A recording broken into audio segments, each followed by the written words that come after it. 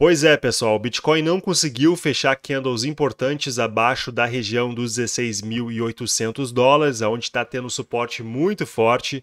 Isso está me deixando desconfortável estar tá posicionado nessa nessa operação de short. Nesse momento a gente está tendo bastante indecisão, dá para ver como o candle de 4 horas está se comportando. Eu vou comentar sobre isso aqui na análise de hoje. A gente teve divulgação do payroll que foi aí ruim para os ativos de risco, a SP500 caiu aí muito forte, Bitcoin seguiu junto, mas teve ainda força para poder ficar acima dessa região dos 16.800 dólares. Então vamos dar uma olhada aqui que a gente pode ver aqui agora o que, que eu vou fazer nessa situação. Então vamos começar aqui, não se esqueça de deixar aquele like para apoiar se você gosta dos conteúdos do canal, se inscreve, se você não está inscrito, ative as notificações e participe do grupo do Telegram.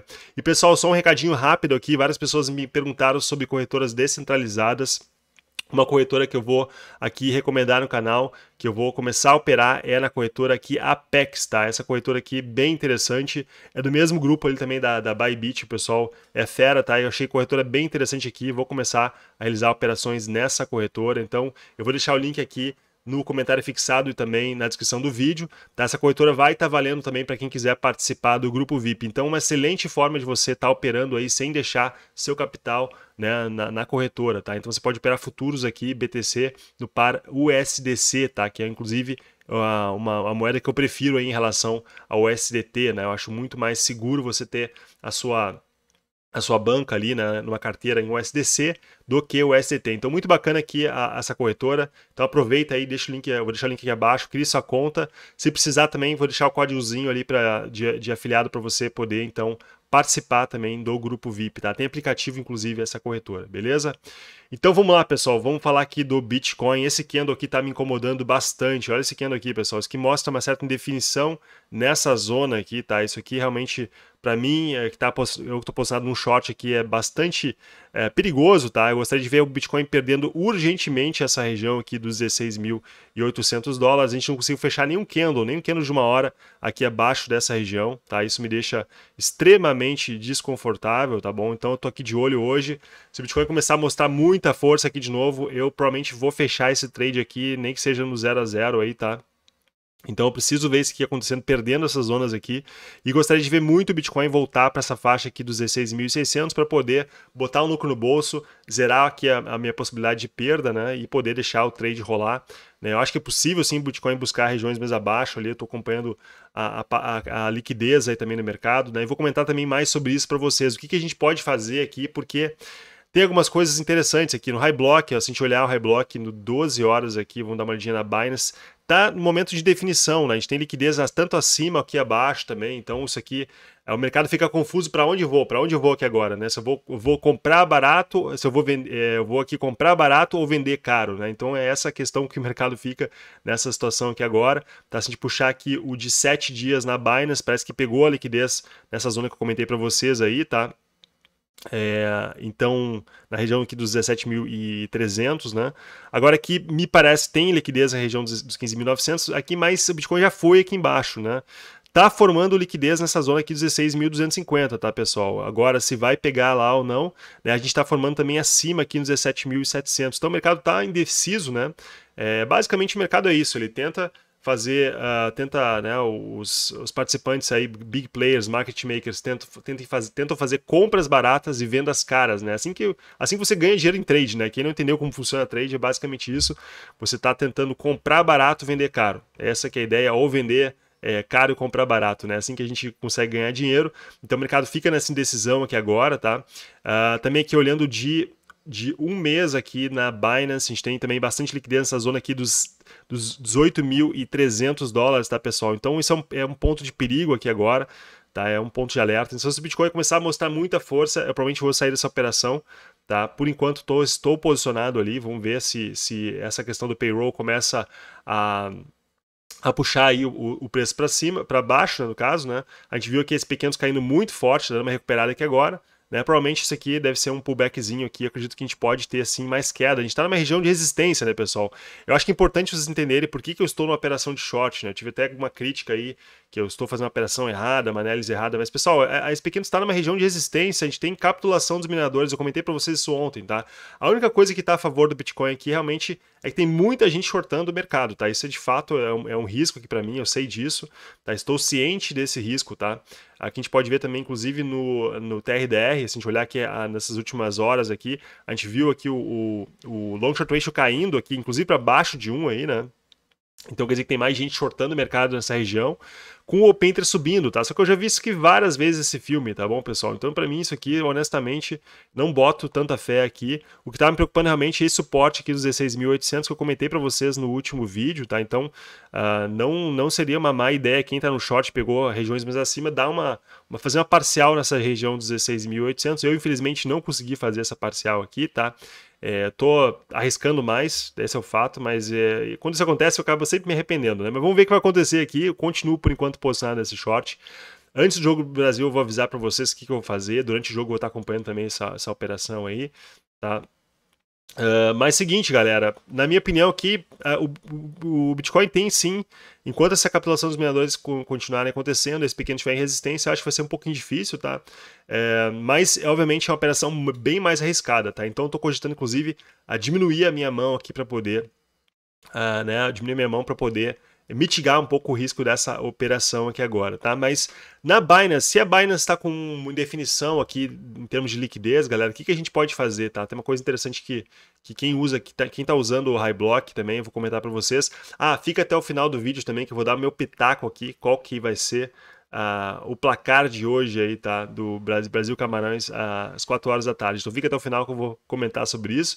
Então, olhando aqui o High Block, dá para fazer também é puxar outras corretoras, né? Infelizmente aqui eles não fizeram um agregado das corretoras, vão fazer isso aqui é, muito em breve, tá? Eu conversei com o CEO, com, o CEO da, da, da, empresa.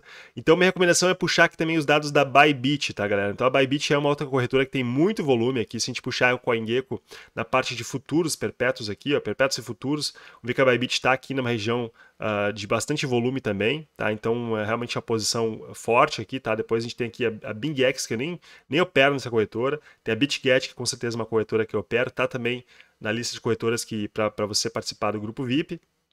Daí tem a Binance, tá? A Binance aqui também. Né? E depois aqui é a Bybit aí também. Então a Bybit é uma corretora que tem um volume expressivo. Então se a gente puxar aqui os dados da Bybit, galera, a gente pode ver que agora, olha só, tá formando liquidez aqui acima, isso é perigoso, tá? Bem perigoso também. Nessa região aqui, 17.750 dólares aqui. Vamos puxar o de o de 7 dias aqui então na Bybit também. Opa, peraí, Bybit, vamos dar uma olhada aqui o que está acontecendo. Porque às vezes a gente fica na, decisão, na, na, definição, o mercado pode então buscar regiões mais abaixo. Né? A Bybit está. É, aqui também está indeciso. Deixa eu puxar então o de, o de um mês aqui da Bybit também. Só para a gente poder matar isso aqui. Tá? E realmente a Bybit está formando aqui liquidez nessa zona dos 18.300 dólares. Então esse é o risco todo, tá? Bitcoin se disparar aqui para essa zona dos 8.300, tá? Acho que sim, vai ser um ponto de liquidez que o mercado que está shortando está com stop aqui. Eu acredito que muitas pessoas que estão shortando aí com valores menores estão com stop acima das regiões, né? Então eu com certeza é, nesse short aqui que eu estou nessa região, não estou com stop lá em cima, tá? Eu estou com stop bem mais, bem, bem mais abaixo, acima ali do candle que, eu, que, que fechou, aquela sombra que, o Bitcoin fez ali, tá? Então, uh, se o Bitcoin começar a mostrar força, começar a ficar acima aqui da região dos 17.200, de novo, eu vou provavelmente encerrar esse trade aí, tá? É, porque tá demonstrando bastante força para mim, é complicado, mas por enquanto, vou manter essa operação aqui aberta, tá bom, pessoal? Isso aqui é a minha, é a minha, a minha decisão, minha opinião. Você fa faz o que você achar melhor. E também, se você não quiser operar, se você quiser observar o mercado, também não tem problema nenhum. É, o mercado sempre vai dar oportunidade para a gente fazer mais trades, tá bom? Se você não pode esquecer, a gente tem, tem ansiedade de ficar, ficar exposto, quer fazer uma operação mas na verdade é bom às vezes esperar quando, os, quando as probabilidades estão a nosso favor, tá bom, galera? Então, eu acho que nesse momento aqui uh, tá bem indeciso, tá bem indeciso mesmo. Mas eu, por enquanto, vou manter esse short aqui aberto, né? Vamos ver se, eu, se, eu, se, se, se, se dá certo, né? Uh, mas estou cogitando reduzir a minha mão porque está bem arriscado, né? Ainda mais que ele está tentando voltar aqui e está querendo fazer também aqui até um conezinho aqui numa hora aqui, formação de cone, tá? Eu estou acompanhando uma LTB lá de trás também, não sei se estão olhando essa LTB aqui, ó. Tem uma LTBzinha lá de trás que eu tô acompanhando também. Então tem que começar a manter, for, uh, não conseguir passar dessa zona aqui, nessa zona aqui dos próximo aqui dos 17.100, na verdade. Começar a romper essa região para mim vai ser bastante complicado, tá? E esse cone aqui é um padrão, na minha opinião, já mais bullish. Começar a formar esse conezinho aqui, ó, tá? Vou até desenhar, reforçar. Esse conezinho aqui já é um padrão bullish. E a gente também fazendo aqui numa hora aqui uma divergência bullish também numa hora para o Bitcoin. Não, não muito bem feita aqui, tá? Que a gente não tem fechamento de candles, mas uma divergênciazinha bullish também, tá? Mas, enfim, tá indeciso, isso aqui mostra para mim indecisão, então provavelmente eu vou reduzir a minha mão nesse short aqui, tá? É o que eu tô aqui agora pensando em fazer para poder mitigar esse risco e reduzindo a mão, vou também estar tá botando um pouco de lucro no bolso aqui, tá, pessoal? O meu preço médio está mais acima e... Um, e vamos ver o que vai dar, tá? Vamos ver o que vai dar nesse momento de indecisão aí tentar reduzir o máximo possível, talvez botar meu stop mais para baixar um pouquinho mais o meu stop. Vou ter que ver o que fazer aqui, tá? Mas não está muito, muito bem definido aí nesse momento o que, que, que pode acontecer, tá? Mas também é bom tipo, pensar aqui que a gente deu essa subida forte, né? Então acho que uma, a gente retrair em regiões Fibonacci não seria algo de outro mundo aqui, puxando desse topo aqui, pessoal. Para mim, acho que a região aqui dos 16 mil, 16.600 dólares, Bitcoin poderia testar. A gente tem suportes bons nessa região aqui. Bitcoin voltar para essa zona. Eu vou estar tá fazendo uma boa uh, né, botar lucro no bolso aqui e praticamente zerar aqui meu risco nesse trade. Essa aqui é a minha estratégia nesse momento, né, nesse short, tá bom?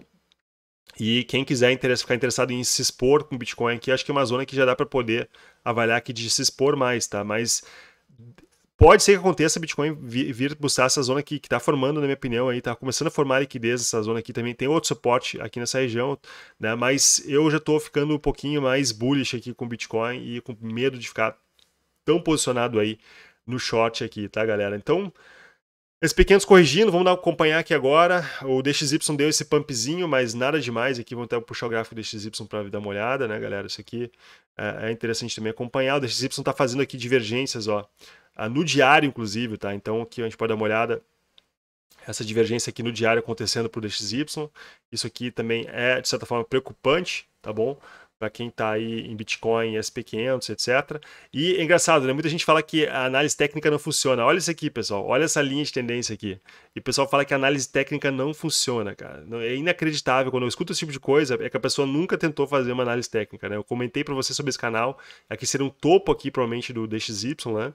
Infelizmente, aqui o Bitcoin não está em, em, patamares aí dos, dos 24, 25 mil dólares né, na minha opinião, porque é realmente o, o que aconteceu com a, com, com, a, com a FTX, tá, pessoal? Então, provavelmente a gente teria buscado patamares mais altos aí para o Bitcoin com essa subida das pequenos, que a gente tinha a, a, finalização da capitulação dos mineradores também, né? Quem sabe, eu comentei para vocês que, que a gente tinha aqui essa capitulação dos mineradores anterior, né? Anterior acontecendo, que foi essa zona aqui, nessa região. Ó, a gente teve sinal de compra, mas a pequenos começou a corrigir muito forte, Daí o Bitcoin não teve força para subir depois. Agora a gente está em outro período de capitulação e esse é um problema que o Bitcoin não consegue ter força para subir mais. Eu notei que na região lá 17.300 o Bitcoin não tinha mais força para poder subir, tá? Então, para mim, agora vai buscar liquidez mais abaixo. Estou tentando sair dessa operação, pelo menos é, tentando mitigar o meu risco ali, realizando uh, uma parcial aí forte nessa região dos 16 mil, próximo da região dos 16.600, tá? Se isso acontecer, eu vou estar feliz aí já com essa, com essa operação, tá? E vamos ver, depois acho que Bitcoin ele pode sim dar uma retraída, mas a, algum momento, com certeza, eu tenho absoluta certeza que Bitcoin vai testar essa zona aí, a zona dos 18 mil e essa zona dos 8.300, tá, pessoal? Para mim aqui sim ele vai buscar liquidez. Então, acho que nessas correções que ele tiver aqui assim, tá? É, vão acompanhar também como é que vai ser a capitulação aqui, como vai ser o mercado, mas a gente pode começar a avaliar assim, de fazer, começar a fazer compras, né, e tentar se expor, mas eu acho que uma compra mais garantida seria nessa zona aqui, que eu já venho comentando para vocês, tá? Então essa zona aqui no meio é, é um pouquinho complicada, tá? tá em, tem uma certa indecisão aqui agora, então é isso, pessoal, que tem para vocês. Então, Vídeo é isso, tá? Às vezes a análise pode ficar um pouquinho em cima do muro aqui, tá? Mas não tem que fazer. Uh, às vezes a gente fica indeciso. Os sinais foram ruins aqui, os sinais indicadores foram ruins, mas uh, o Bitcoin teve força para segurar ainda acima dos 16.800. Isso para mim mostra força aí, uh, pelo menos por agora, tá bom, pessoal? Então, no mais é isso. Vou dar aqui então o meu pitaco em relação ao jogo do Brasil Camarões, Brasil Camarões para vocês aí. Eu acredito que vai ser difícil apostar para Camarões, tá, pessoal? Vai ser bem difícil. Mas o que, que, é minha opinião? O que vai acontecer no jogo? Vai ser 2 a 1 para o Brasil. Contudo, vai ter um gol aqui desse cara aqui, ó, esse Eric Maxim Chupomontin, Motin aqui, ó, Chupomontin. Ele vai fazer um gol nos 27 minutos do primeiro tempo. Vai ser 1 a 0 para Camarões, tá? Vai ser vai ser chato para o Brasil. O Brasil depois vai de virada fazer 2 a 1 aí, tá? Então essa aqui é a minha previsão para o jogo de hoje. Vamos ver se você um bom analista esportivo também ou só, só consigo analisar o Bitcoin. Beleza? Então um abraço para todo mundo. Não esqueça de deixar o like para apoiar se você não, não deixou ainda. Comente também abaixo. Se você não está inscrito, se inscreve no canal e a gente se vê então em breve. Um abraço.